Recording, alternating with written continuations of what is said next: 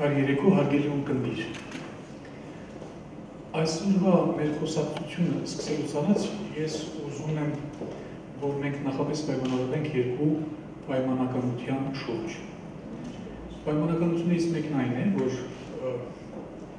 վերջին հաշվով ինչ զույցի թեմա է հայ մարդու, ուսուցող հայ մարդու, հայ կոմպոզիտորի, իրեն հայ գիտակցող անհատի եւ հայ արվեստի փոխհարաբերության հարցը։ Սա ինչ զրույցի թեմա է։ Երկրորդ պայմանականությունն այն է, որ այս հայ մարդը, այս հայ կոմպոզիտորը մեր կողքին ապրող մարդ է եւ ցանկացած խնդիր, եթե ունենք, եթե բարձելու հարց ունենք, իր հետ պիտի բարձենք, ինչ գործ ունի երաժշտագետը մեր եւ մեր կոմպոզիտորի միջեւ մեր կողքին ապրող կոկոսների միջև։ Ուրեմն երկու հարցադրումներն էլ կարող են իրական լինել եւ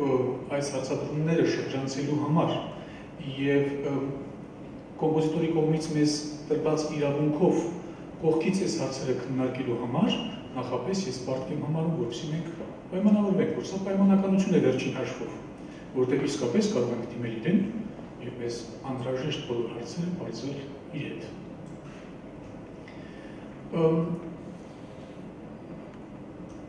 Իմ խնդիրը երևի թե պետք է լինի գոնե այն հարցերի տեսանկյունից, որ քննարկվեցին այս երկու օրը, դիտարկել, թե այդ քննարկված հարցերը ինչպես պիտի տեղավորենք հայ արվեստի, հայ երաժշտական մշակույթի պատմության տեսանկյունից այսինքն Մանսուրյան կոմպոզիտորը ավանգարդի դիրքերում, Մանսուրյան կոմպոզիտորը 80-ականներից մինչև այսօր, աշխարհի շարժի մեջ գտնվող կոմպոզիտորը, աշխարհի իրողությունների առանցքում իր աշխարհում կանգնած կոմպոզիտորը եւ հայ իրականությունը։ Դեմ ավանգարդը եւ այդ ավանգարդի հաշտեցումը հայ իրականության հետ Երևի սա առաջին հանգույցն է մեր խոսակցության, որի շուրջ ես պիտի փորձեմ դիսկուրս ձևակերպել։ Անհրաժեշտություն է, ներողություն եմ խնդրում մանավանդ մասնագետներից, որ ես մի երկու խոսքով պիտի անդրադառնամ, թե ինչ է այդ ավանգարդը եւ գոնե ինչպես եմ ես այն հասկանում, որպեսզի այդ դիրքերից քննարկեմ Մանսուրյանի ժառանգությունը հայ իրականության մեջ ավանգարդիզմը ավելի ճիշտ է, այսպես ճիշտ է ասել։ Ավանգարդիզմը 20-րդ դարաշրջին, որ ի հայտ եկավ, գոնե 3 հայտանիշով ի հայտ եկավ։ 19-րդ դարավերջին արևմուտքի խորը մշակութային, աշխարհակաղակական, կուլտուրոլոգիական ճգնաժամի արդյունք որպես կամ դրան պատասխան կամ դրան արձագանք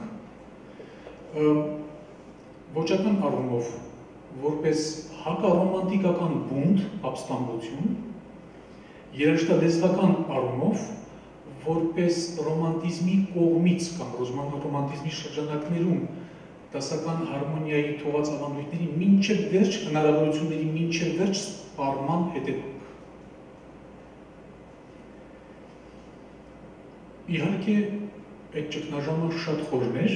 եւ այդ ճգնաժամի հետևանքները կուլտուրոլոգիկ ճգնաժամի հետևանքները դրսևորվեցին ամենատարբեր մակարդակներում, փիլիսոփայությունից մինչև քաղաքականություն, փիլիսոփայական մակարդակի վրա օրինակ ախտորոշիչ է Նիչեի որոշ ձև ախտորոշիչ է Նիչեի որոշ ձևակերպումներ նա իր աշխատությունից մեկը այսպես սկզբում հայտարարում է. Աստված մեռավ նա կարող էր ապրել երևի բայց նա մեռավ։ Սա թվում է Նիչեի կողմից արված իրոնիկ կամ քիչ մեկնաբանելի գուցե եւ քիչ կարևոր իրողություն, որին եւ կարելի է չանդրադառնալ, բայց սա կարևոր է, որովհետեւ Աստված մեռալը բողոքական կանայի որդու համար այսպեսի իմիջիայից կյանքում շատ արկեշտ քրիստոնյա մարդու համար սա ախտորոշում է, որ նշանակում է թե քրիստոնեական արժեքները Եվրոպայի մշակույթի մեջ, Եվրոպայի եվրոպացի մարդու վարկագծի մեջ այլևս սպառված է աստված մերով այսպես են կոնե մեկնաբանում ոմանք ուրեմն այստեղից սկսում է ճգնաժամը ընդդուք մինչև առաջին համաշխարհային պատերազմը որովհետև պարպել էր պետք է ճգնաժամը եւ այն պարպվեց մինչև վերջը չպարպվեց կնճիռները երկրորդ համաշխարհայինի մեջ տարագուսեցին եւ բոլորովին պատահական չէ որ ավանգարդիզմի երկու փուլերը հենց այս պատմական էպոխաների վրա են նստում, սրանցով են պայմանավորված։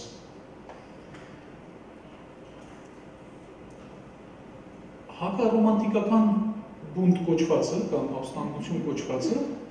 էլի գաղափարաբանական մի երևույթ համարենք եւ ասենք, որ ռոմանտիզմի համար ընդունելի մարդը, անհատը, անհատը իր զգայական զգացմունքային ներաշխարով այլևս հետաքրքիր չէր կոշտ, բիրտ, երբեմն ուրիշ հետաքրքրություններ վարող աշխարհի համար։ Եվ այն հերոսը, որ պիտի փախչեր իրականությունից, երաշտագետներից մեկի ձևակերպմամբ, կամ դեպի մտածածին աշխարհ, իր ամուսների մեջ վայելելու այդ աշխարհը, կամ դեպի իդեալականացված աշխարհ, որը կարող է լինել, ասենք, միջնադարը։ Իդեալականացված միջնադարը կամ էլի ինչ որտեղ կամ առհասարակ խռոված հերոսի կերպարանքով դեգրել ան մեծ անհայտ եւ անմեկների տարածաշրջական միջավայրում, ասենք Մանֆրեդի կերպարով։ Այս բոլորը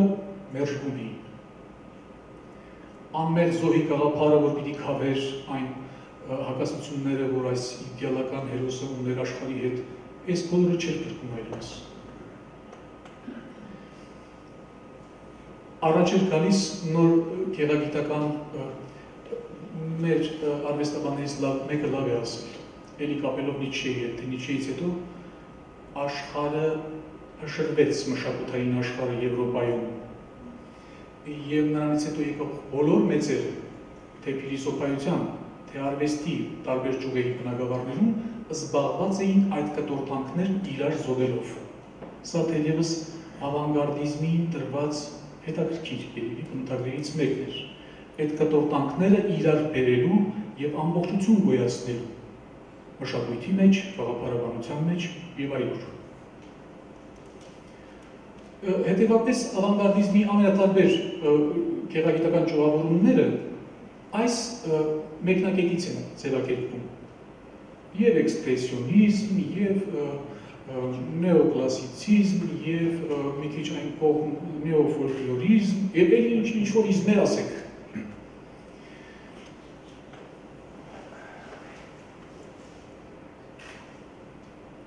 իրականության հետ անհաշտ հերոսը այլևս իդեալական իրականություն չունի նրան պարտադրում են տեսնել այդ իրականության ամբողջ ախտը իրականության հետ անհաշտ հերոսը այլևս փրկություն չունի որևէ այլ միջավայրում, նրան ստիպում են տարապել կյանքի հատակն ընկած։ Սա իր վախերի, իր սարսափների, իր բիրտ զգայությունների, իր անմշակ ներաշխարի, իր մամլակի տակ ընկած գոյության պատճառով։ Սա թերևս էքսպրեսիոնիզմի գեղագիտությունն է։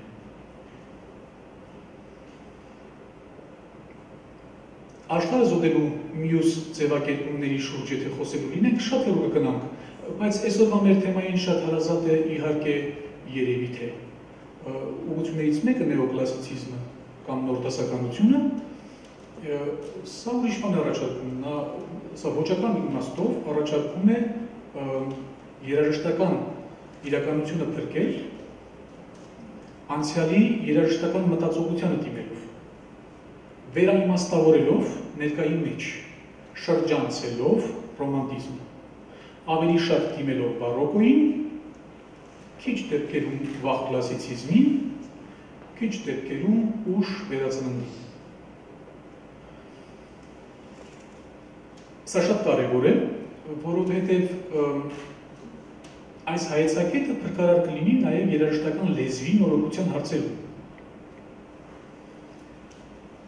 Երաժշտական լեզվի խնդիրները, որ շատ զբաղեցրեցին հատկապես նոր վենական դպրոցի ներկայացուցիչներին, դարձյալ նույն մեկնակետից են սկսում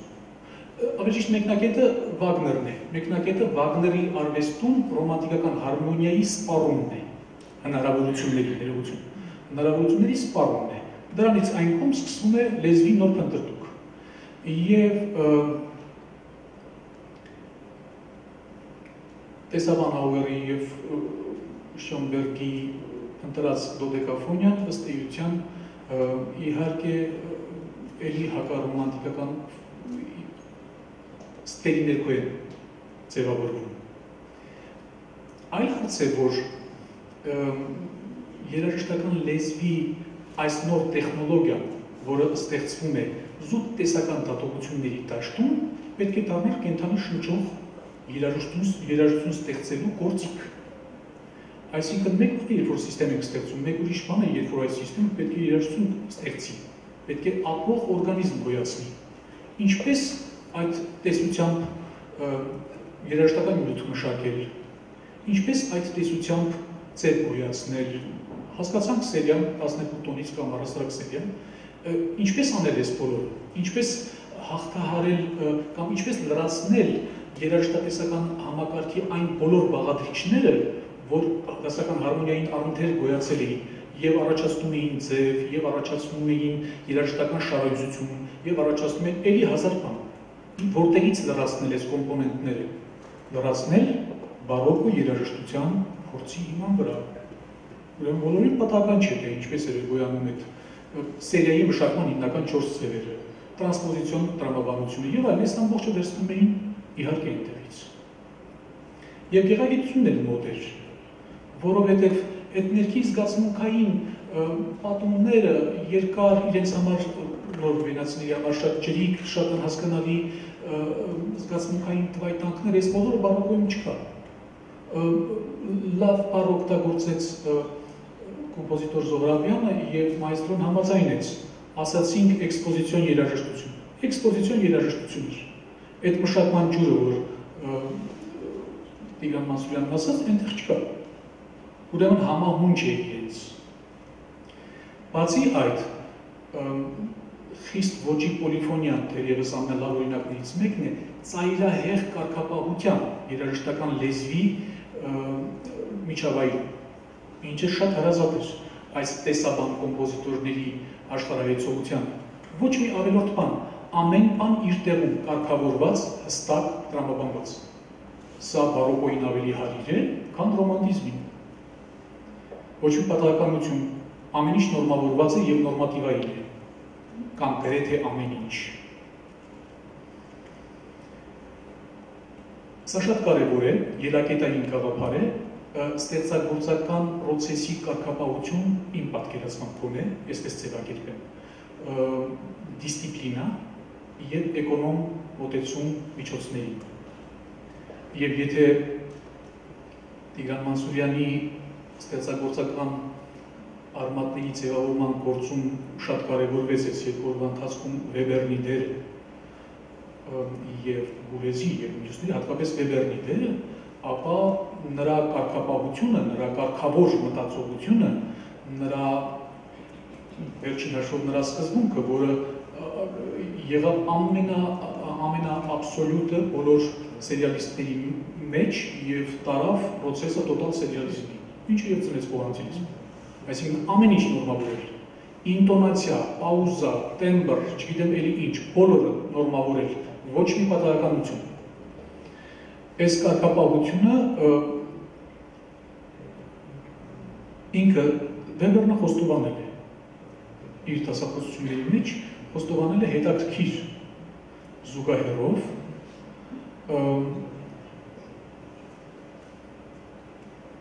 հարց է տալիս, ասում ինչու ենք մենք ուսումնասիրում լեզուներ։ Ամենաբնական պատասխանը, որ կարող է սրան հնչել, իհարկե լեզվի նշանահաղորդակցական ֆունկցիան է, կոմունիկատիվ պատճառներով։ Վեբերնի համար դա առասարակ նշանակություն չունի։ Վեբերն ասում է, որբիսի մեր մտածողությանը կարգապահություն վարժեցնենք։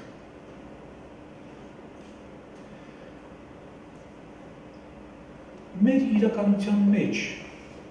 ավանգարդիզմը իր այս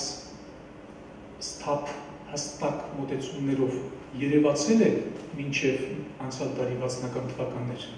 որպեսի հասկանանք, թե մեր կոմպոզիտորը միայն Վեբերնի ուսերին էր նստելու, թե մենք ունեինք հենակետեր, որոնց հետ նա պետք է հաշտեցներ այս մոտեցումները։ Մեկ-երկու հայացք մեզանում ինչ էր տեղի ունենում։ Որքան որ պարադոքսալ հնչի, մենք մեր ավանգարդի հաշվարկը, ավանգարդիզմի հաշվարկը սկսելու ենք մեր առաջին ազգային դասականից։ Այդպես է մեր մշակույթի իրական մշակութային իրականություն։ Կոմիտասից ենք սկսելու։ Միաժամանակ զգուշ լինելով նրան ավանգարդիստ չհայտարարելու գործում, ամեն դեպքում ասում ենք, որ նրա արվեստում արդեն իսկ բավականին հստակ կերպով երևում են ավանգարդիստական ձևակերպված կորիզներ։ Ոճական առումով սոնորիստիկա, չգիտեմ, էլի նեոֆոլկլորիզմին նախորդ չեն կարող ասել նեոֆոլկլորիզմ, որտեղ տերմինը կիրառվում է մի քիչ ավելի ուշ։ Բայց դրա տարերը էքսպրեսիոնիզմի որոշակի տարեր կան այնտեղ, էլի ինչ ասեք կան։ Որբիսի ներկապարանոց չնչի հայտարարություններ, իմ ասածը, ես խնդրեմ հիշեք նրա խմբերքերից իդեպ մշակում չէ իր հենց ստեղծագործական process-ի մաքուր արգասիկ կարուն խմբերքը, ոչ թե կարունան, կարուն խմբերքը։ Սա եթե չասենք մաքուր էքսպրեսիոնիզմ է, ապա ասենք զգացմունքների կամ գաղափարի ծայրահեղ լարումների փառահեղ նմուշներից մեկն է երաժշտական լեզվի նույնքան ասած ամեն դեպքում բացարձակապես ոչ դասական լուծումներով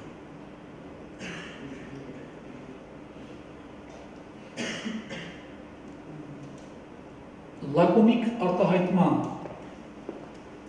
ծերի հավաք եւ էկոնոմիջոցներով կազմակերպման տեսանկյունից կոմիտասը կարող է ելակետ լինել մեզ համար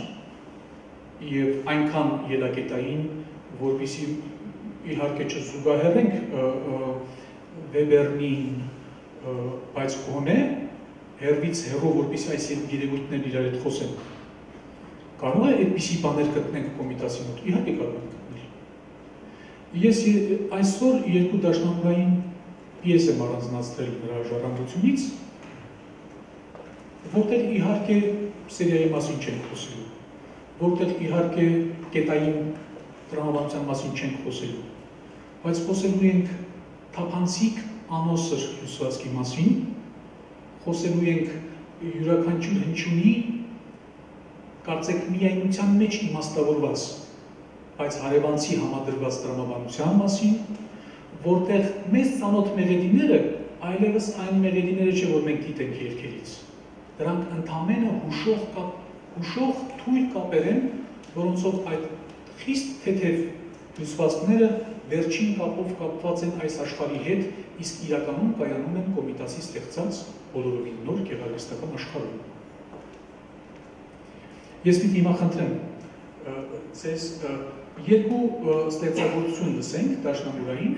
մեկը նրա 7 երգ, ուրեմն դաշնամուրային շարքից առաջին կտորն է, մյուսը նրա պոլիֆոն պիեսներից տողիկը։ Առաջինը, որպեսի էլի բացատրեմ ասածս, առաջինը ես աղջիկ եմ երկի մերեդին է պարունակում, բայց դա այլևս ես աղջիկ եմ երկը չի։ Եթե հիշենք ես աղջիկ եմ երկը, դա շատ տխուր, ողբերգական մի երգ է։ Աղջիկը կանգատվում է, որ ինքը անհեր, անտեր մի մարդ է։ Այս աշխարհում իր զգացմունքների, իր իր լքված լուսավոր թախիցներով իր բան է սա։ Այս այդ բովանդակությունից հետ իսկ չկա, սա ուրիշ բան է։ Տողիկը առհասարակ ծրագրային է իր վերնագրով միայն, այն էլ զուտ տեխնիկական պիտի համարենք 9 տակտ է, տողիկ է իսկապես։ Այնտեղ առասարակ չգիտենք, թե ինչ էր եւ այդ մեղեդին որտեղից է եւ ինչ է ձևակերպվել։ Հիմա երկուսն էլ լսենք։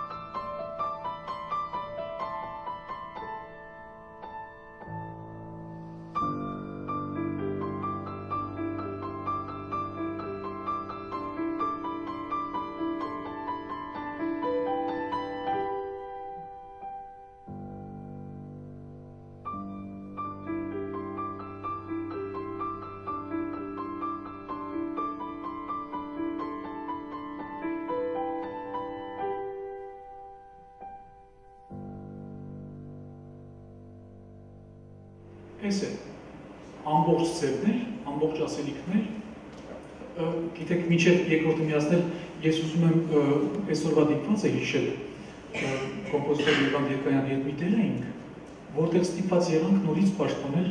կոմիտասի այս իրավունքը լակոնիկ լինելու ավանգարդիստ, չասենք, բայց ավանգարդիստների տրամաբանության մեջ լինելու իրավունքը,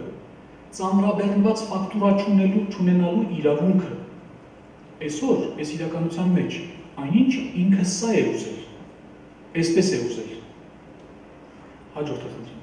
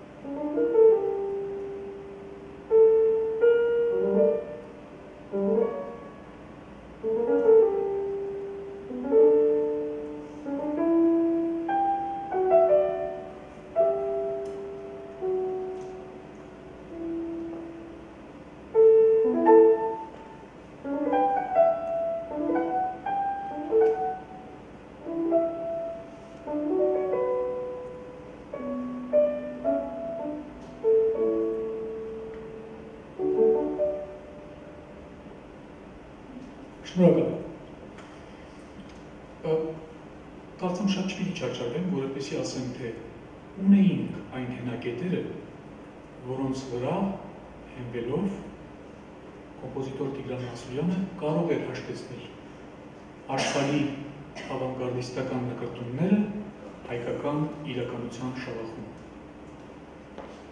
Եվ դրա համար պատահական չի, որ այդքան հերավոր իրողություններ Վեբերն կամ Ուլես կամ չգիտեմ որևէ մեկ այլ մեկը եւ հանկարծ կոմիտես։ Սրանք գուցե իմ նշած տրամաբանական գծի մեջ, գուցե ելի ավելի տրամաբանական իմ կողմից չնկատված գծերի մեջ շատ էլ կապակցված են։ Շատ էլ խոսում են իրար Եվ ավելին, արդարացված են Տիգրան Մասուրյանի գեղարվեստական արտադրանքի մեջ այդ կապակցվածությունը։ Ավանգարդի մյուս արտահայտությունը, որ ես առանձնացրեցի որպես այսօրվա խոսքին առնչակից իրողություն, նեոտասականությունը, իհարկե ներեցեք այստեղ ես վերադառնամ խոսքիս, ասենք, որ միայն կոմիտասով չէր, հենց այդ շրջանում աշխատող մեծերը, ավակ սերունդը կամ հեչ խաչատրյանական դպրոցը ինքն էլ հարկվում էր պատերազմից հետո եկող երկրորդ ալիքի հետ ինքն էլ հակվում էր նոր վենական դպրոցի խնդիրներին, ձևակերպած խնդիրներին։ Նշվեց եւ իրավացիորեն նշվեց եւ մայստրոյի կողմից նշվեց Պապաջանյանի հանգամանքը։ Ես հատկապես կուժենայի առանձնացնել, քանի որ խոսք չեղավ հատկապես այդ գործերի մասին, 6 պատկեր դաշնամուրային 6 պատկերում եւ հատկապես կուզենայի առանձնացնել ժողովրդականը, որտեղ ոչ մի ժողովրդական ներետի չկա։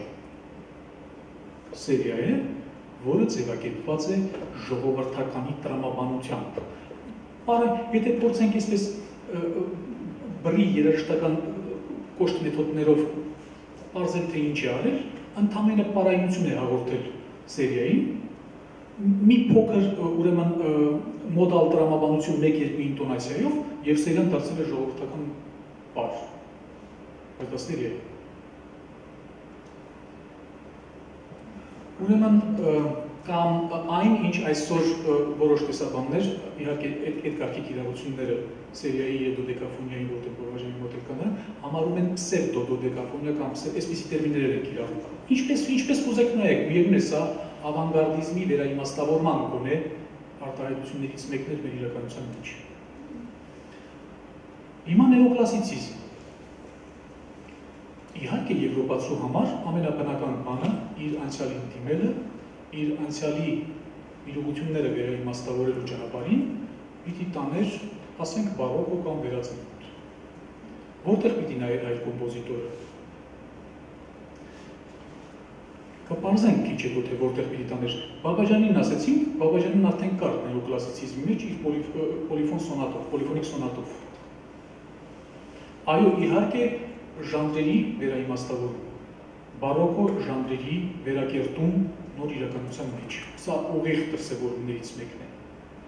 Իհարկե, արտահայտչան միջոցների համակարգի վերաիմաստավորված կիրառություն եւ զարթանախշային տրամաբանությունն է ամբողջ բարոկո արվեստին հատուկ եւ այլն, մի շարք բաներ։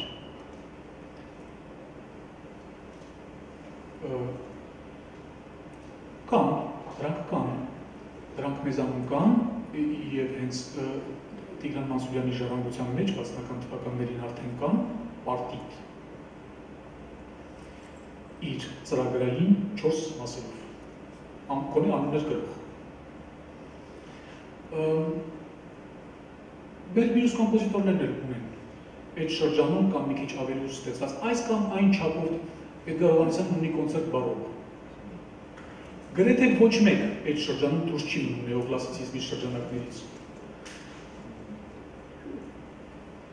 Էդվարդ Միրզոյանի արվեստում կարելի է նկատել նեոկլասիցիզմի այս կամ այն արտահայտությունը։ Նույնիսկ Ալեքսանդր Հարությունյանը, որը այդ սերնդի ամենա, այսպես ասենք, պահպանողական հեղինակն է եւ քիչ է տրվել տարա տարա ժանր, այսպես կամ տարբեր ոճերի, նույնիսկ նրա արվեստում կարելի է դա նկատել։ Մեր կոմպոզիտորը, եթե փորձեր հայկական հիմքի վրա անցյալի վերային իմաստավորումը կերտել, անպայման պետք է դիմեր հայկական միջնադարին կամ գոնե այն շրջանին միջնադարի, որը մենք պայմանականորեն կարող ենք անվանել հայկական վերածնունդ կամ վերածնություն։ Գուցե պայմանական, գուցե ոչ պայմանական։ Հետևապես գուցե չհամաձայնենք, որ Տիգրան Մանսուրյանի հայրենները նեոկլասիցիզմի արտահայտություն են հենց երաժշտալեզվական տեսանկյունից։ Գուցե չհամաձայնենք միջոցների կիրառության շատ էլ հա, զուգահեռ չլինելու այս ոճական ուղղության տրամաբանությանը, բայց անդրադարձը իսկական այդ է։ Հայկական միջնադար, այն էլ աշխարհիկ քնարերգություն։ Քնարերգություն, որ պահպանվել է հայրեն հայրենների քնարերգություն, որ պահպանվել է Նահապետ Քուչակի անունով։ Չմտնենք Քուչակի հեղինակության շուրջ ծավալված բանասիրական հաճախ անտեղի բանավեճերի մեջ, ուղղակի ասենք, ստեղծագործությունը կոմպոզիտորը այդպեսի ձևակերպել է չորս հայրեններ Նահապետ Քուչակի տեքստերով։ Ես կուզենամ, որ մենք լսենք այս ստեղծագործության վերջին երկուսը, այս շարքից վերջին երկուսը։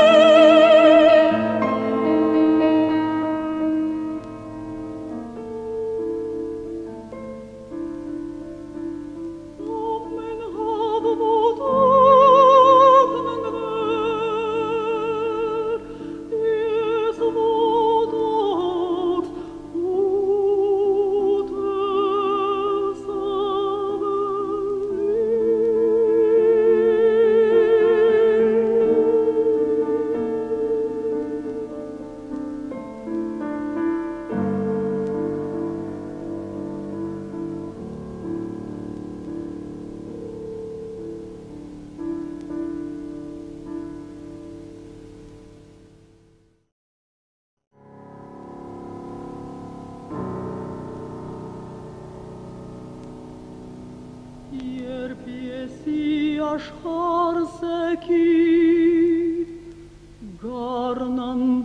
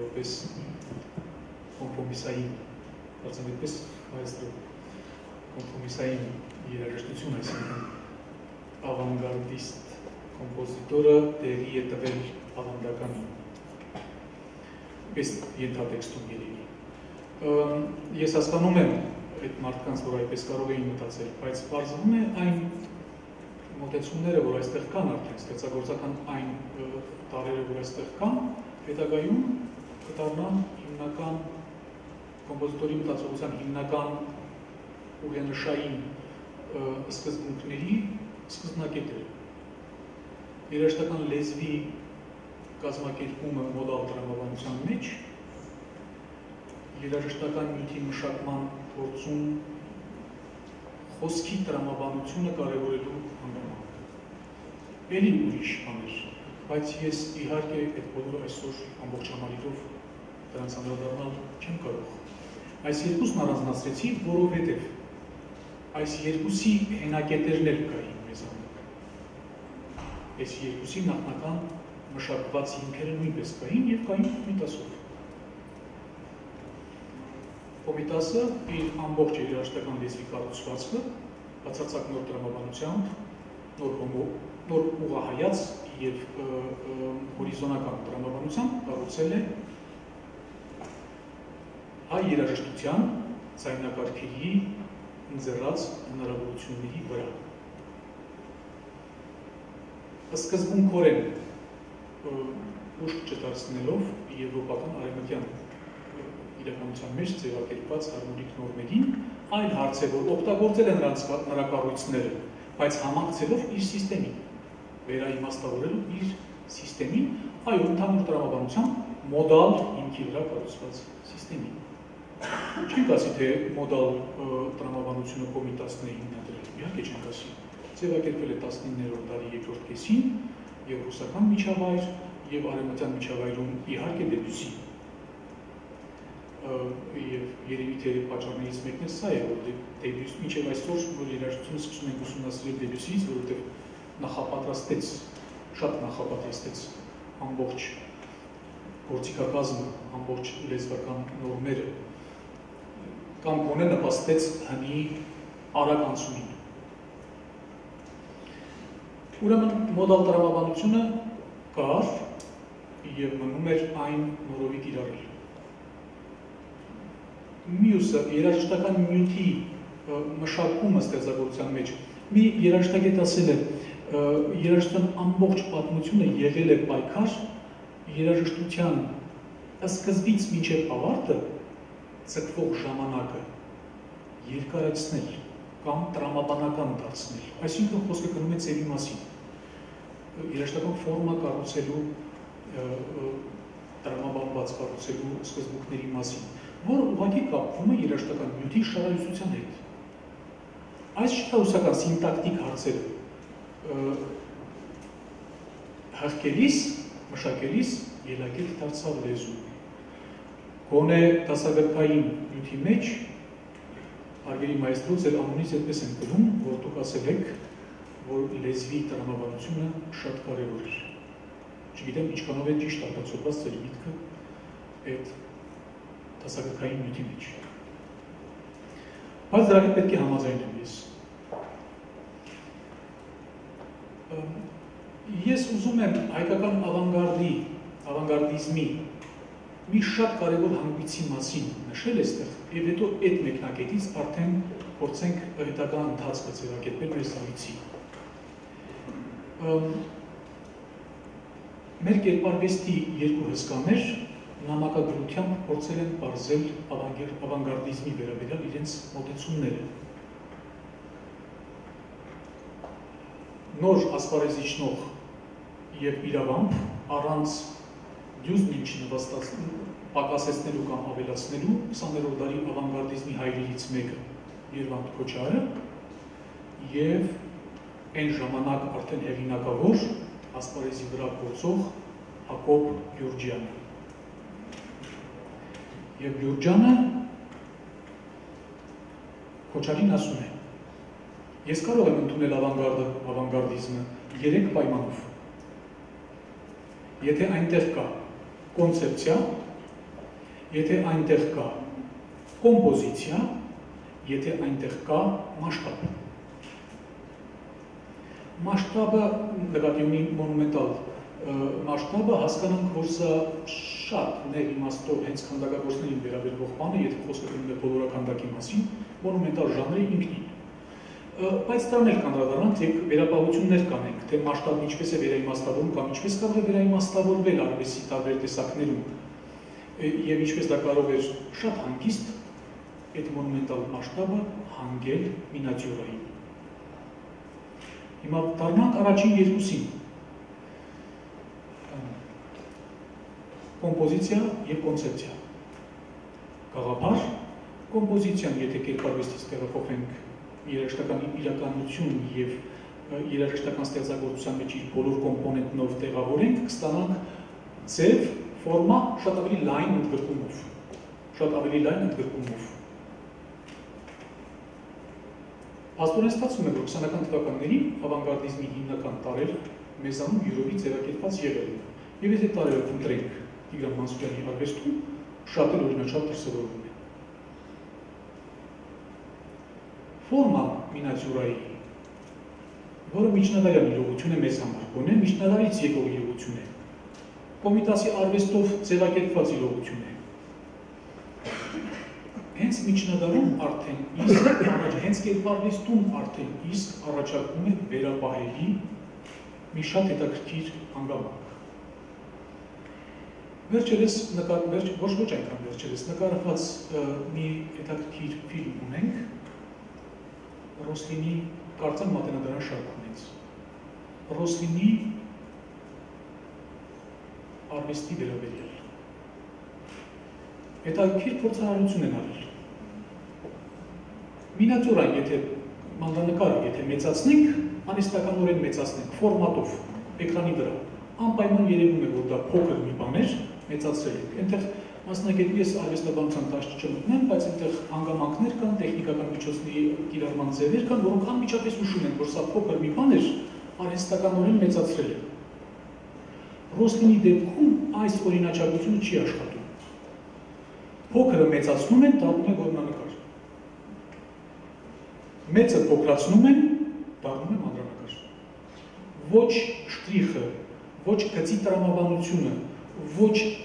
ոչ այն հանգամանքը, որ փոքրը մինչև վերջ մշակված կերպարայնությունի դետալիզացված է, այսինքն ինչ հատուկ է կամերային արվեստում,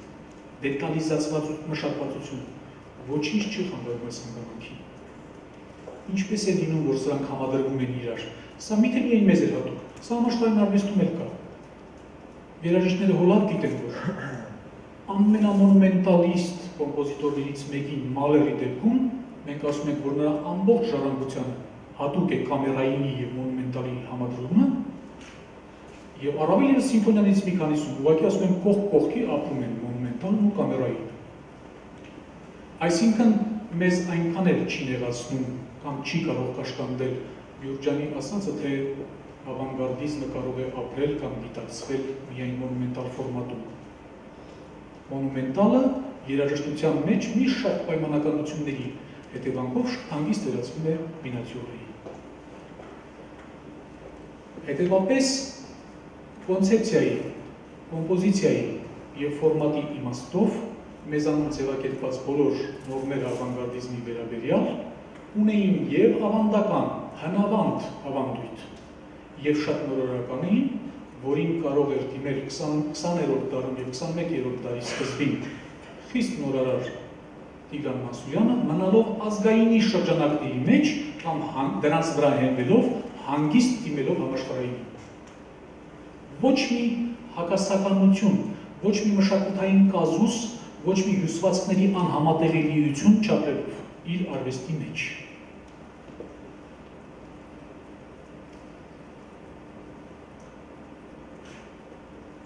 Եվ 80-ականներից, եթե այս կողմ առհասարակ մեր նախորդ անախոսը երեք ասեց, որ լեզվի փոփոխության երաշտական լեզվի փոփոխության տարրեր են նկատվում եւ դրանք կարող են ձևակերպել որպես պոստմոդեռնի հատուկ ռեկոնստրուկտիվ դրսևորումներ, կարող են եւ այդպես դիտակցվել, կարող են եւ դիտակցվել որպես անցյալի կամ ավանդույթի կամ ավանդական շերտերի յուրոյի խիստ նորարար վերաիմաստավորման դրսևորումներ։ Եվ հետաքրքիր է, որ իր ամբողջ ժառանգության տրամաբանությամբ այսօր դեռ եւս հայնում պոտենցիալով զարգացող ժառանգության տրամաբանությամբ ֆոլկլորային նյութին ուղակի ցիտատներով, ուղակի մեջբերումներով չդիմող Տիգրան Մանսուրյանը 90-ականներին սկսում է անդրադառնալ առանց նույնիսկ հավելյալ զգուշավորության միջնադարյան մոնոլոգիային։ Երբեմն շատ չեն դրանք, բայց կան դրանք արդեն եւ դրանք միշտ նորովի են որովհետեւ իմ պատկերացմամբ պահպանված են իմ այն նշած մի քանի ելակետային հանգամանքները կոնցեպցիայի, կոմպոզիցիայի եւ ֆորմատի տրամաբանությամբ էլ չենք ասում մոդալ մտածողությունը, էլ չենք ասում լեզվական, շարուսական եւ այլ նորմեր։ Մասնավորաբար կուզենայի հիշել հենց հավիկը այդի եւ հարվածային համար արեկացու ժառանգությունից, որը էլի կոմպոզիտորը միանշանակ չվերցրեց նախ վերցրեց ցայնից, չվերցրեց կոմիտասի գրառումները, որտեղ կոմիտա այնինչ այսօր շրջանառու է որպես հավիք տաղ, կոմիտասն ինքը չի գրառել։ Կոմիտասը երկել է դա։ Իր գրառածները ուրիշ են։ Ու Թահմիզյանն համարում է, որ գրառածները հավիք տաղի վերականգնության, վերականգնման, ռեստավրացիայի նախորդ երկու փուլերն են։ Երրորդ վերջնական փուլը իր երկացն է իր երկացը գրառել էր, եթե հիշողությունս չի դավաճանում Մուշել Աղայանը, հետագայում խմբագրել էր նաև Թահմիզյանը, բայց հակառակ այս երկու անվանի անուններին մի շատ նրբություններ ուղակի երբեմն շատ ակնհայտ դետալներ աչքներից վրիպել էր կամ անցել էին կողքով այդ բոլորը վերածայնագրեց Տիգրան Մասուրյանը ամենայն ճշգրտությամբ։ Եվ այս վերածայնագրումով կառուցեց կամ դրա հիմքի վրա ձևակերպեց իր նոր ստեղծագործությունը։ Առասարակ միջնադարին, որ սկսել էր դիմել դեռևս 60-ական թվականներից, ես ինչու սկսեցի հայկական միջնադարին անդրադառնալու դրսևորումներից, եւ Խաչատուր Կեչարեցի, եւ Թրկուրանցի, այս պոետները ուղեկցել են հայ պոետներ, ժամանակակից պոետներ, օտարերյա պոետներ, այդ խոսքի տրամաբանությունը անընդհատ ուղեկցելու են դրա արվեստին, սինթեզված ժանրերով, վոկալ կամերային գործիքային անսամբլերի մեջ։ Այսինքն այդպես լավ անգծված գիծ է սա։ 90-ականներին 2000 նու 90-ականները իհարկե որոշակի առումով նույնպես նշանակալի եղան եւ ստեղծագործական մտերմությունը երևի Քիմ Քաշքաշյանի հետ եւ Ալտի տեմբրի յուրահատուկ բացահայտումը կոմպոզիտորի համար կարևոր եղավ, դա ծնեց մի քանի գործեր, նաեւ այս հավիքը։ Նաեւ հավատով Խոստովանինը ըստ ներսես շնորհալու համանուն ստեղծագործության ոչ ամբողջական իհարկե ընդգրկումով ցայնի եւ այլ նվագարանի համար ցայնը ցայնական անսամբլի եւ այլ նվագարանի համար ստեղծված որտեղ արդեն նկատելի է միջնավարյան երկեցողության մի շարք տարի ուղակի արտացոլակ մեթոդների փոխերկեցողության ծևեր շատ հատուկ մեր կոմպոզիտորները այսօր շատ մեծ վարպետությամբ օգտագործում են այս հնարները, որոնք հատուկ են միջնադարյան մոնոդիային։ Առանձնակ մոնոդիկ կրոնական, մոնոդիկ սակրալ արվեստին ուղակի կենսացել էր։ Եթե եվրոպական տերմիններով արտահայտելու լինենք, ասենք ռեսպոնսորային եւ անտիֆոնային երկեցողության մեթոդներն են, որոնք յուրահատուկ ձևակերպում են ստանում կոմպոզիտորի արվեստում շատ էլ չի ճակատային լուծումներ տալ ցային ուղեկցող գործիքը երբեմն կարող է ուղղակի ցայնառություն հիշեցնել։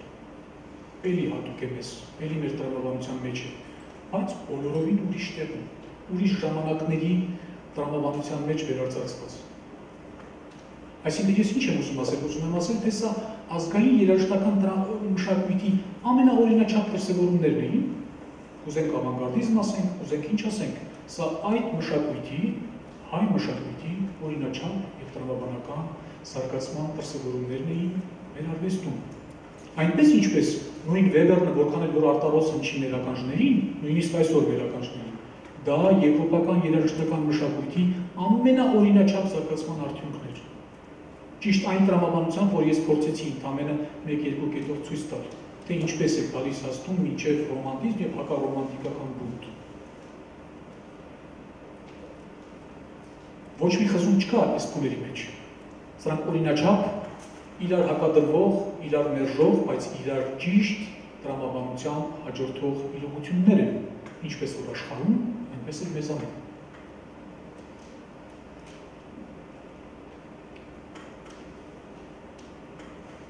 Մի քանի խմբերքային շարքեր, խմբերքային ստեղծագործություններ ինձ ստիպել են տալիս մտածել, որ վերջին շրջանում հատկապես իմ նշած խոսքի ներքին տրամաբանությունը երաժշտության մեջ վերարտացելու իմաստով Տիգրան Մանսուրյանի արվեստում առավել ընդգծված է դրսևորվում։ Ավելին, ես կուզենայի սրա մեջ ուրիշ բաներ տեսնել, ես կուզենայի տեսնել մեր երաժշտական մշակույթին առավել ավանդական երևույթի, երաժշտաբանաստեղծական ավանդույթի վերարծացման իմաստ դրսևոր վերարծացման դրսևորում տեսնել սրա մեջ։ Այսինքն մենք ոչ ենք կարող երկել, որ մենք մինչև 19-րդ դար չենք կարող ասել ունեցել ենք քնարերություն պոետիկ եւ ունեցել ենք երաժշտական արվեստ իրարից ճոք։ Մենք ունեցել ենք երաժշտաբանաստեղծական արվեստ նույնիսկ երկարվեստ ասելը ճիշտ չէ այստեղ, որովհետև դրանք իրարից առանձին չէին ստեղծվում, հետո համադրվում, ինչպես երգը կարող էր կոմպոզիտորական արվեստում ենթադրել։ Դրանք միասին միակառույց սինկրետիկ ապրելու սովոր իրողություններ էին մեզանում։ Ես կուզենայի այս ավանդույթի վերարծած վերարծացում դիտել նրա վերջին շրջանի վոկալ շարքերը, նրա վերջին շրջանի խմբերքային արվեստը որպես սա շատ կարևոր է, որովհետև եթե նորարարական հովերը կոմպոզիտորական արվեստում քիչ թե շատ դիտարկված են, իմիջիալուց երաշտագիտական մտքի մեջ այդքան էլ իմաստավորված։ Երաշտագիտական միտքն էլ ավանգարդիզմ ապրել։ Եվ 20-րդ դարաշրջանի լուրջ անավեճ էին ծավալում։ Իհարկե խնդիրը տանելով փիլիսոփայական հարթություն։ Սկզբից մարդը խոսեց թե երկեց, թե, թե նրա ցայնատվությունը ավելի մասնագիտական ձևակերպենք, նրա ցայնատվությունը խոսածայինի ցայնատվություն էր, թե երաժշտական ցայնատվություն, ինտոնավորում։ Մեր իրականության մեջ այս խնդիրը կոմիտասին չի հետաքրքրել։ Կոմիտասը հարցը լուծել է մի անգամից նա հենվել է տրված իրականության վրա, որը մեր, ժողովրդական արվեստն եւ մեր միջնադարն էր, դա նշանակում էր սինկրետիկ, միակառույց, միանգամից իրար հետ ծնված իրականություն։ Այսինքն լուծել է խնդիրը ավելորդ վեճերի մեջ չընկնելու, ոչ այս, ոչ այն, միասին։ Եվ այդ միասնական մշակույթը իր ժառանգության մեջ իմ պատվեցման կոնե միասնական մշակույթի նորովի դրսևորում իր ժառանգության մեջ երևաց Տերյանի, Սահյանի, հետո Չարենցի, մինչ այդ Թումանյանի, վերջում, վերջինից կոնել, միջև հիմա ծևակերպասներից Իսահակյանը ես այստեղ կուզենայի շեշտել, և դարձյալ խոսքի եւ երաժշտության գիրք ընդխառն կոմիտասի բառն օգտագործենք դրամաբանությունը այ երաժշտությանը հատուկ ցայնակակային հիմքերի ընձեռած հնարավորություններից գոյացող նոր երաժշտական լեզու իրեն շատ հատուկ իրեն շատ անորոշ ֆոլկլորային նյութ չկիրառող բայց հնուստ ազգային եւ ժամանակի ամենաառաջատար դիրքերում կանգնած։ Եթե նորից սկզբունքի տեսանկյունից խոսենք, սա ճիշտ այն է, ինչ կոմիտասն ասել է։ Կոմիտասը եղավ ամենաառաջադեններից մեկը 20-րդ դարի սկզբին գնալով ակունքներ։ Ակունքներում երևացող տրամաբանության նորովի կիրառություն։ Այսինքն նույնիսկ սկզբունքի տեսանկյունից ազգային ավանդույթը Տիգրան Մանսուրյանի արվեստում ելակետային է։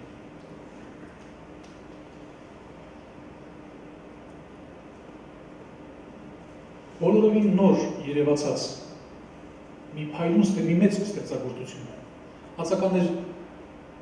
ներեցեք մայստրո չպիտի օգտագործեի, որովհետև իմ գնահատականները, իմ հացականները չէ, որ այդ գործերն ապրեցնելու են հաստատ։ Այդ գործերն ապրում են եւ այդ գործերի շարքում իհարկե ռեքվիեմ է։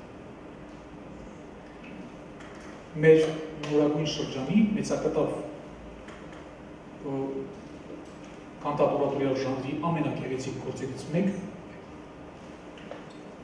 որքան էլ խոսքից մեջ հակասություն երևա, ճիշտ իմ ասածն է հաստատում։ Ինչու հակասություն, որովհետև գրված է լատինական տեքստով։ Ինչ հայ հայոց լեզու,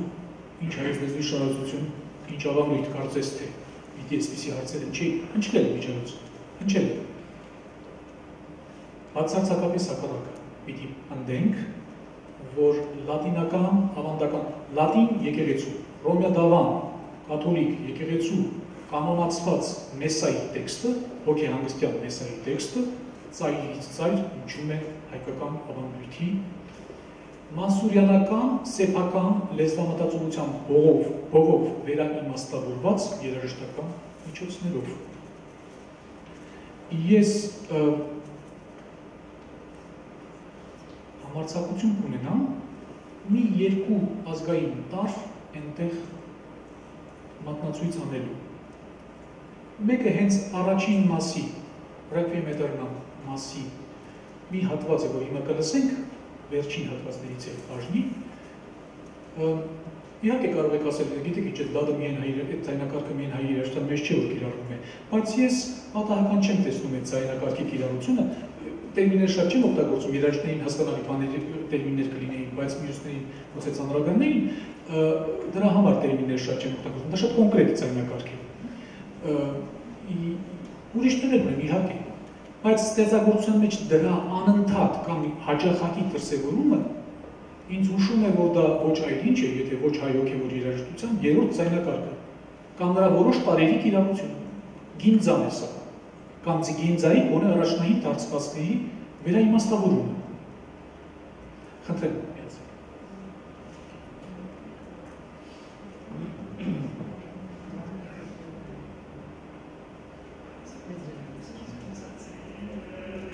Չէ, ամենասկզբը չեմ այս կեսից եմ դրել։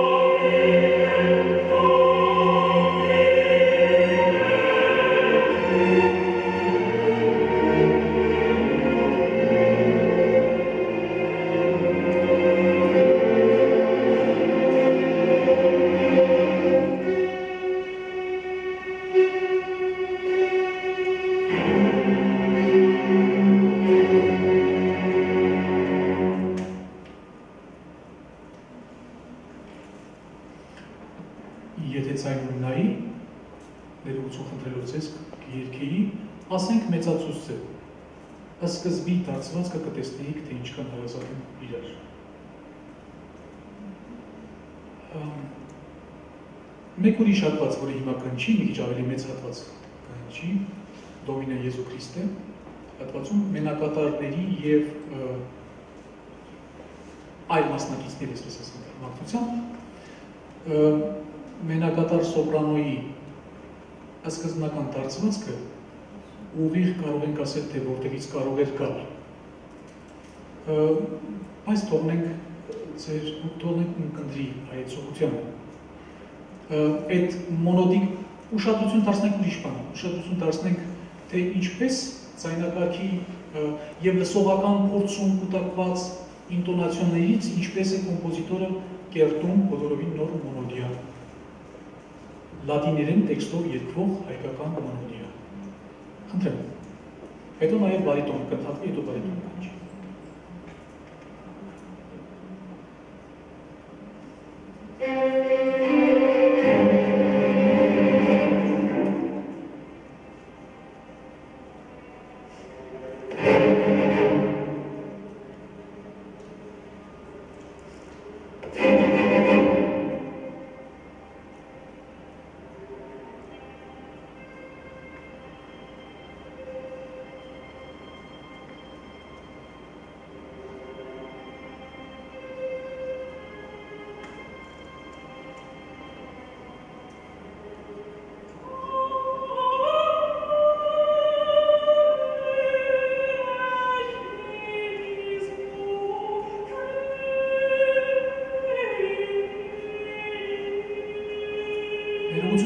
ձայնավորությամբ հատված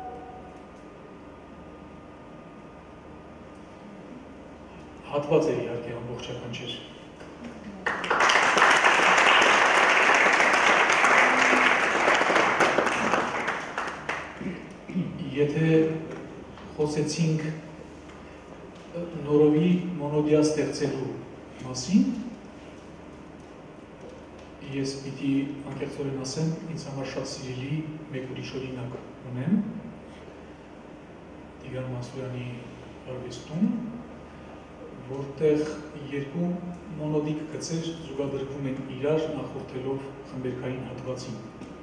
Իսահակյան Իսահակյանական շարքում սա արևելքի մի հավք ստեղծագործությունն է, երկու սոպրանո իսկապես մոնոդիկ գծեր են զուգադրում իրար։ Եվ դա հայկական մոնոդիա է։ 21-րդ դարաշրջանի հայկական մոնոդիա։ Խնդրեմ, առաջին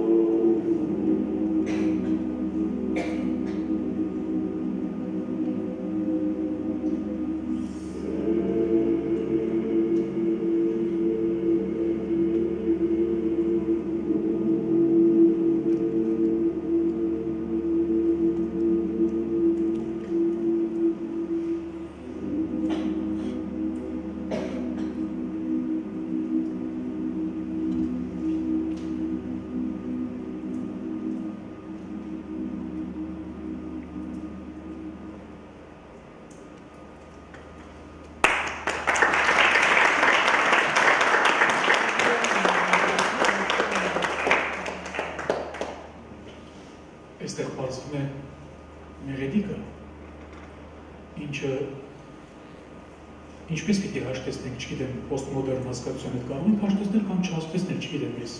Բայց զարմանալի բան չի բոլորին Մասուրյանի դեպքում, որովհետև այդքան շղայլ մեղեդայություն ունեցող կոմպոզիտորի համար ինչ զարմանալի բան կա մոնոդիա ստեղծելու այս կարողականության դրսևորման մեջ։ Առանց պոստմոդեռն աստվածին շատ չի ուզել անդրադառնալ, որովհետև այս տերմինը կամ այս ձևակերպումը որ հրապարակ են դրել բոլորովին էլ ոչ արվեստագետները, որ հասարակական գիտությունների ծնունդն է ստեյության, որ իր ձևավորման ակունքներում ավելի պարտական է ընդհուպ մինչև անգլիական հեղափոխության իրողություններին, սոցիոլոգիական բարդ իրողություններին, պատմության փիլիսոփայության յուրահատուկ տեսանկյուններին, ֆուտուրոլոգների բարդ արծարծումներին, միայն վերջին հերթին գուցեև արվեստին եւ արվեստագիտությանը։ Եվ անել այնքան տարբեր մեկնություններով, այնքան գուցեև հակասական հայեցակետերով, որ ես չի ուզենա մտնել այդ բավիղները։ Ես ուղղակի կարող եմ հարցադրում անել հնարավոր է բացի գուցե տարօրինակ հնչողին ձևակերպումից մերելին հաշտեցնել պոստմոդեռնի հետ այսքան ազգայինը կարող է հաշտվել պոստմոդեռնի գեղագիտության հետ ես չգիտեմ բայց այսքան ազգայինը պարստրամաբանությամբ հայ ազգային կոմպոզիտորական դպրոցի օրինաչափ զարգացումն է 21-րդ դար 21-րդ դարաշրջանի հաշվառումով եւ այն այն բացարձակ նորարարական լինելով, բացարձակ արդի լինելով, այնքան ավանդական է, որ նույնիսկ նրա գեղագիտական ելակետը, որքան որ ես կարող եմ հասկանալ, կարող է զուգադրվել նույնիսկ կլասիցիստական հայեցակետերի հետ։ Դա հնարավոր է պոստմոդեռնում, թե ոչ, ես չգիտեմ որպես վերջին փաստարկ ես ուզում եմ, որ հիմա քիչ հետո կհնչի նույն իսահակյանական շարքից Ալագյազի լանջի ստեղծագործությունը իդեպ իր երաշտական հյուսվածքով շատ զուգահեռ ռեկվիեմի ագնոստեի հատվածին Պոետը ասում է, երբ ես լեռնեմ, ինձ կթաղեք Ալավյազի լանջերին, որ մանթաշի ցովերը կան եւ այլ եւ այլ։ Հասկանալի է ռաժիշտի գաղափարը, հասկանալի է, որ ողբերգություն կա վերջին հաշվով։ Եվ ողբերգության ինչպիսի կոնցեպցիա կա այստեղ, եւ ռեկվիեմ։ Բնականաբար ռեկվիեմ մանավանդ իդեպ չմոռանանք Եղեռի տարեդա Եղեռին նվիրված հայոց մեծ եւ կոնկրետ թեմատիկայով իհարկե ողբերգություն կա։ Բայց ողբերգության որ ընկալումն է սա։ Ես ձեր ձեր թույլտվությամբ ներողություն խնդրելով պիտի մեկ դեպք պատմեմ իմ ուսանողական կյանքից։ Մեծահամբավ կոմիտասակետ Ռոբերտ Աթայանի եղբայրը մահացել էր։ Նույն օրը նա եկավ դասի։ Դա այնքան էլ օրինաչափ չի երևի։ Թվաց թե ոչինչ տեղի չի ունեցել մարդու հետ։ Բայց տեղի էր ունեցել եւ այդ տեղի ունեցածը դրսևորվեց դասի կազմակերպման ձևի մեջ, որքան էլ տարօրինակ չի, նա նա ասում էր շատ հստակ կազմակերպվածություն, այդ կազմակերպությունը խախտեց ծայրից ծայր։ Գրադարանից վերել տվեց Բախի երկեհոնային ֆուգաները, մեծ ֆուգաները, 4 ձեռքով նվագեցին եւ վերլուծեց։ Անկեղծ ասած, Աթայանի դասերին, եթե այդպես կողքից նայել ունենեինք, չէինք տեսնի, նա երբեք չէր տնում, ցույց չէր տալիս իր վարպետությունը, իր երաժշտագիտական հմտությունները, շատ զուստ կողքից չէր հասկացվի թե սա ով է, ինչ մասշտաբի երաժշտագետ է։ Այդ օր երևաց, թե ինչպես նա կարող է վերլուծել Բախ հասավ մի կտուրի, կանգնեց եւ ասաց. արվեստն այսպեսին պետք է լինի։ Ոչ թե պետք է լացացնի,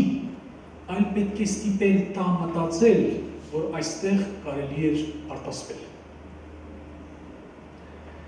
Ես այդ պահին քիչ հասկացա ինչ ասեց։ Հետո իհարկե նորից դառնանք Նիչի։ Նիչեի մոտ տեսանք, որ հին հունական արվեստը երկու պարադիգմով է բացատրում։ Երկու աստվածային պարադիգմով։ Ապոլոնյան արվեստ եւ Դիոնիսյան արվեստ։ Դիոնիսյան արվեստը երաժշտական հախուռն տարերքը բնութագրելով որպես Դիոնիսյան, Նիչեն դրան է նախապատվություն տալիս։ Եվ Ապոլոնյան արվեստը համարելով, դրան ավելի հարիր համարելով պոեզիա, որը իրողությունը անցկացնում է բանականության խտացումով, բանականության ֆիլտրով։ Հետո հասկացա, որ Պաթայանը Ապոլոնյան արվեստի կողմնակից էր։ Բարձր դասական արվեստ, ունական դասական արվեստի գեղագիտության բարձր նշածողին հարազատ արվեստագետ էր։ Հելենական քաղաքներից մեկում այն ողբերգակին, ով համարցակվել էր ողբերգությունը խաղալիս արտասվել եւ հուզել հանդիսատեսին, ստիպել որ նա արտասվի, քաղաքից վրընդեցին քաղաքից վրընդեցին որպես բիրտ վայրենի մարդու, որովհետև ողբերգությունը պետք է լիներ չոր, իմաստավորված, բանականության մեջ մարդուն կատարսիսի տանող։ Սա դասական գեղագիտություն է, սա չոր ողբերգություն է, և ռեքվիեմում, և ալագյազի լանջին թաղվող Իսահակյանի դեպքում մասուրյանական մեկնաբանմամբ չոր ողբերգություն է, որ գեղեցիկ նուրբ գծելով թափանցիկ հյուսվածքով բեկվում է այդ այդ կառույցի ներսում, պատից պատ խփում եւ շողերով լուսավորում մեր ներքին աշխարհը լուսավոր թախիծով Սա այն արվեստն է, որը բացարձակապես դասական կլասիցիստական մոտեցմամբ կարող է կոչվել գեղեցիկ, որ է վեր եւ ողբերգական։ Խնդրեմ։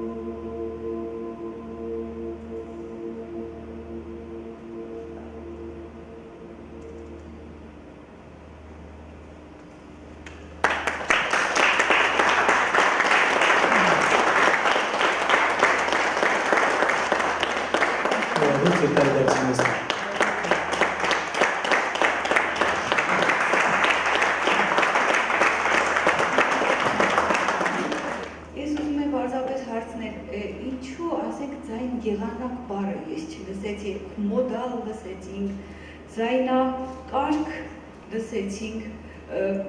բայց ասենք խոսելով հենց գեձայն նույնպես շատ դուք լսեցիք ձայն բառը, որը նույն է թե ձայն եղանակ, դուք լսեցիք գիմձա բառը, որը նույն է թե երրորդ ձայն եղանակ։ Այո, բայց ձայնը մանակ ոնց որ ավելի հարազատ է։ Երկուսն էլ կիրառական են միջնադարագիտության մեջ, երկուսն էլ համազոր կիրառվող տերմիններ Այո, այո, Արտուր, երկուսն էլ կիրառական տերմիններ են։ Հա, եւ մանավանդ որ դա, ասենք, մեր հինավուրց տերմինն է, որը որ հենց մոդալ այդ իրողությունն է ներկայացնում, բայց հայկական իրականության մեջ։ Այո,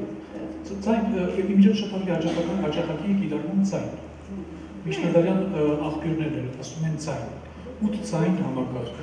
կողմ եւ ցայն, այսպես օգտագործում են պետությունները։ Այդ կապը հենց եղանակի հետ, հենց այդ եղանակ բարի բազմակողմանիության գիտեմ ինձ համար շատ ավելի շատ քանի որ նպատակը միջնադարագիտության վրա ծանրանալը չէր,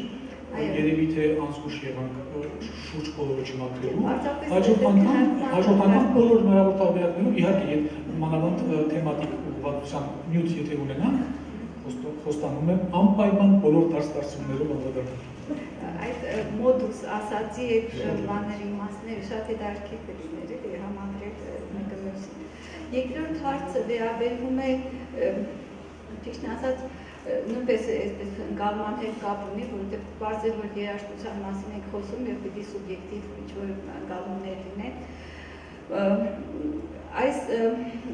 հարցը, որի մասին որ դուք շատ հետաքրքիր խոսեցիք, որ խոսքը եւ երաժշտությունը շատ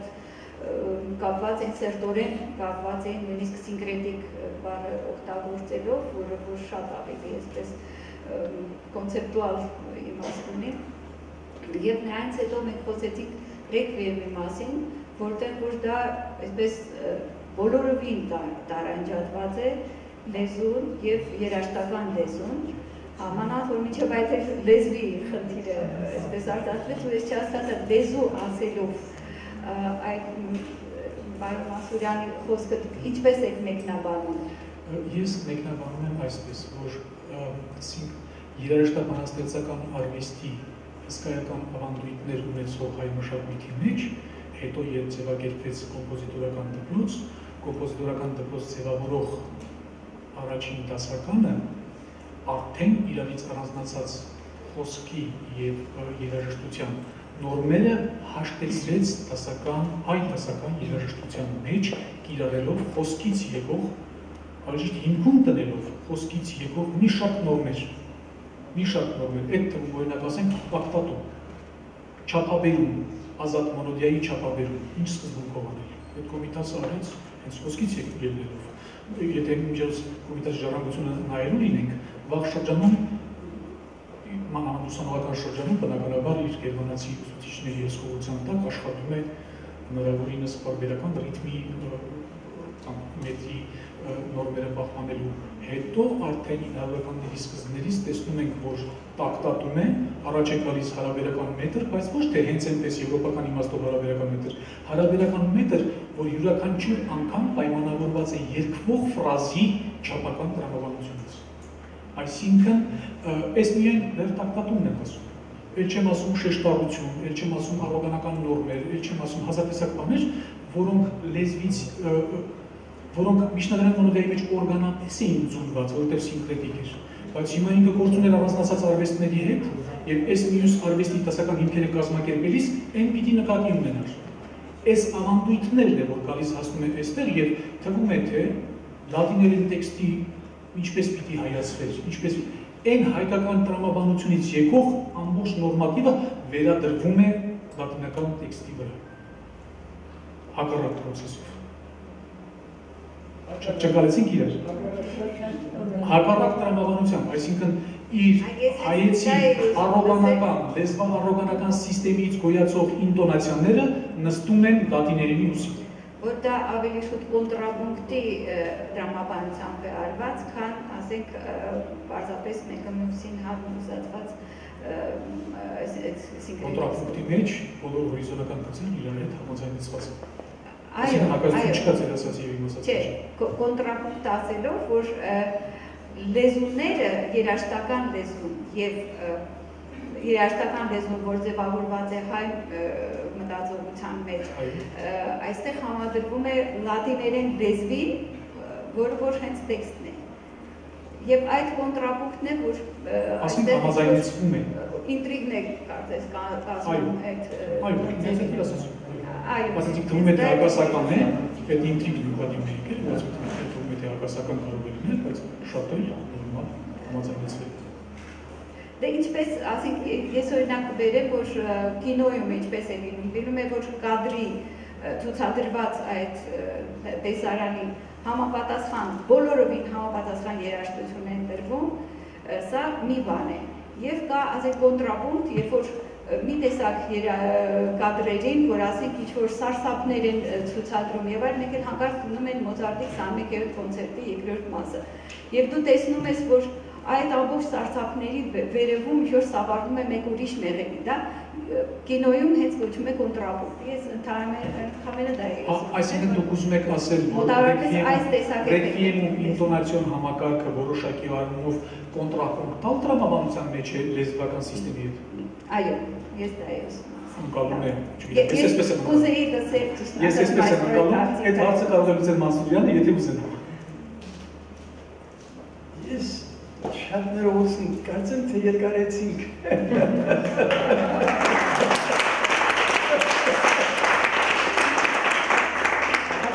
որոնք կարելի է արձարծել, մանրամասնել եւ այլն, եւ միայն մեկ օրինակ ասեմ այս հարցի հետ կապված։ Արվոպյատը գրել էր ռուսերենով աղոթքների մի փառավոր շարք եւ ասում էր, որ իր համար ելակետային է ռուսերեն լեզվի հնչյունաբանական կողմը եւ ինքը հետևել է լեզվի ռուսերեն լեզվի իդե պետք է այս գործը մեծ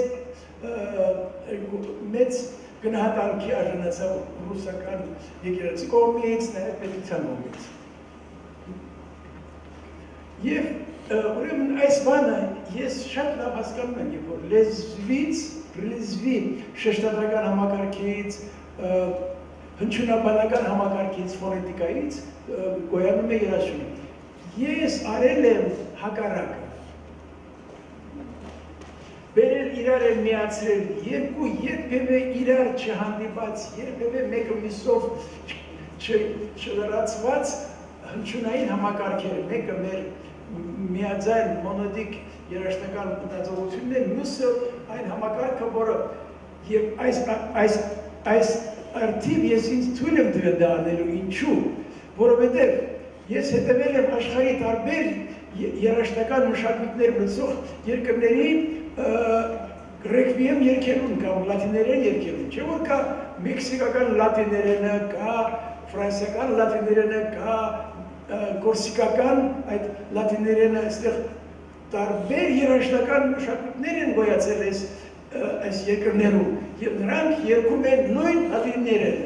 ես նույն լատիները երկում եմ ոչ մեքսիկացու ոչ ֆրանսիացու ոչ կորսիկացի որոնք իրարից տարբեր են եւ ես էլ եմ տարբեր երկում եմ իմ լեզվով երաշտական սա է իմ ելակետը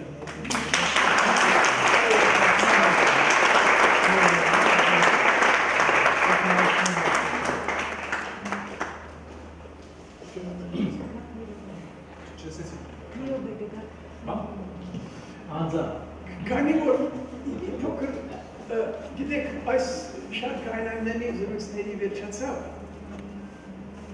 ես իմ խորին շնորհակալությունը պետք է հայտնեմ Նարեկացի արվեստի միությանը, ղեկավարությանը, բոլոր աշխատակիցներին անասելի խանդամարությամբ, աննկարագրելի երանդով ամբողջ ժամանակ աշխատեցին Գիտեք, վաղը պիտի ամփոփվի անշուշտ, այնտեղ կրնեն եւս աշխատանքի նոր պտուղներ, միայն այս եկուցումները եւ այս ցուցադրությունները չեն։ Բայց այն ինչ որ եղավ այս 3 օրերի ընթացքին, դա իսկապես մեծ նվիրումի արդյունքի արի ես ուզում եմ որ մենք կանգնենք 4-ով 4-ով կանգնենք Աշխոտ Ժողովրդյան, Արտուր Ավանեսով եւ Մեհեր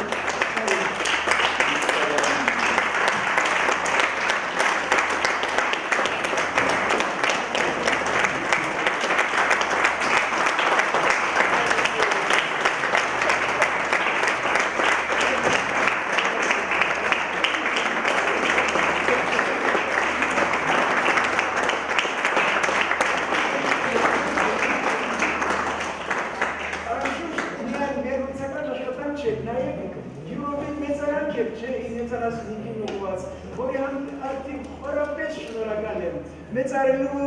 այսպիսի ուշադրության արժանանալու կապակցությամբ։ Ես գիտեմ իմ երաշխան ինչ լինել, գիտեմ։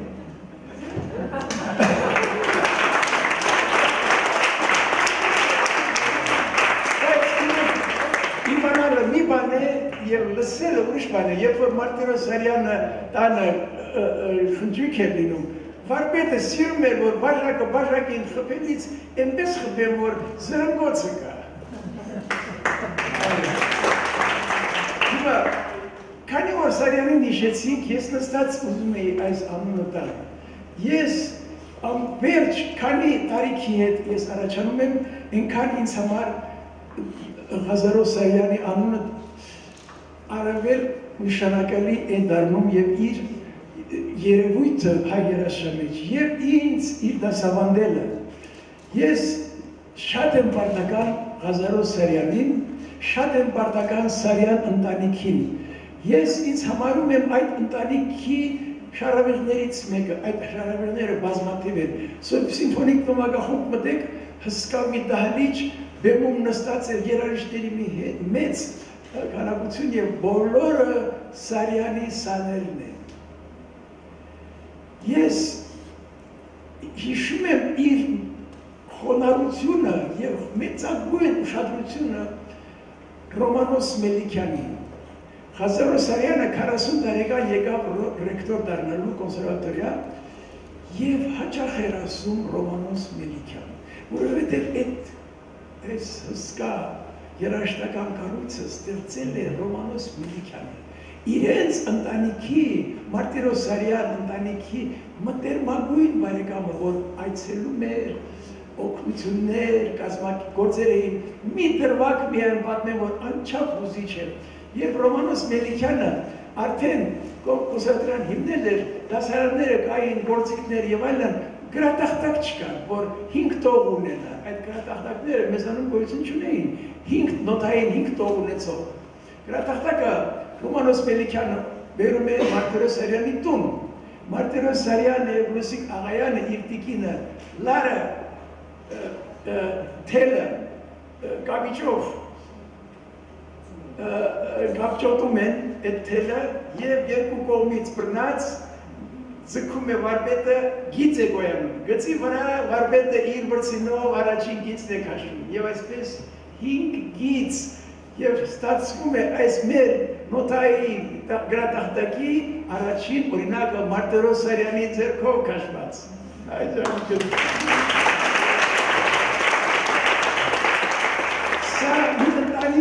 սա մի ընտանիք է, մենք բոլորս մի ընտանիք ենք, երաժիշտների ընտանիք ենք, եւ անշուշտ ունենք մեր մեծերը, եւ Ռոմանոս Մելիքյան, եւ Կոմիտաս, բայց Ռոմանոս Մելիքյանը կենթանի օրինակ է Սարյանի համար։ Ես այս Սարյանի օրինակով բերում եմ ինձ հետ նաեւ Ռոմանոս Մելիքյանի նաեւ այդ փոքրիկ պատմությունները։ Մենք ենք, այս մեր երաշտական իրականությունն է եւ ես խորապես շնորհակալ եմ իմ ընկերներին, որոնք այդքան ջանք ուզեցին, շնորհակալ եմ ձեր ձեր համերության համար, ձեր սրտակցության համար, լավ բառ է, սրտակից լինել, քանի որ դժվար է այդքան երկար լսել ամեն երեք երեք երեկո եւ այս այնամները լեցուն դալջում։ Շնորհակալ եմ։ Մի անգամ եւս ծապտամ Մեհեր Նամոյանին, Աշոտ Զորականին Ամենեսոնին շատ սիրելի հայտանիք։ Շնորհակալ եմ Նարեկացի արվեստի միություն եւ ամբողջ աշխատակազմ։ Բոլորից շատ շնորհակալ եմ։ Եկա հայ բոլորից